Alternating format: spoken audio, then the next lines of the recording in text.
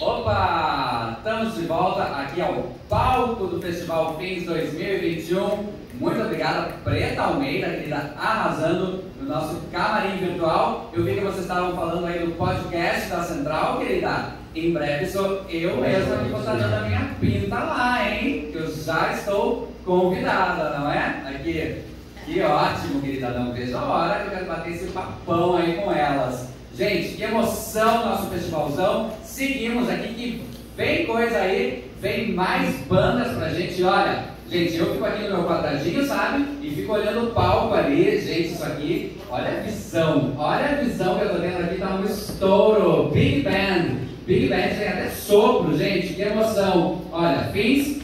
Esse aqui é o festivalzão online delas, é só um dos eventos deste ano. Vai acontecer tudo, vem agosto, vem novembro e afins aí rolando solta 2021 adentro para as senhoras.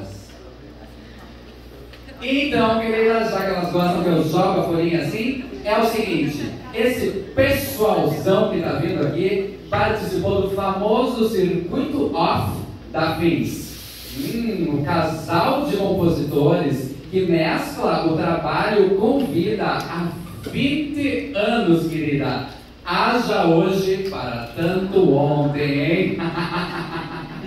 Ai, queridas. Bom, já lançaram três álbuns autorais e o mais recente, o álbum visual. Isso aí achei muito moderno, álbum visual. Tudo que eu não quero falar sobre amor. Rendeu a dupla o prêmio Profissionais da Música. E eu quero indicar um bom videoclipe deles que chama-se Biografia, no qual eu mesma estou lá estrelando o papel principal, querida, imperdível no YouTube. Com vocês, querida, eles vêm de Big Band, é a Estrela Lewinsky e Thelmo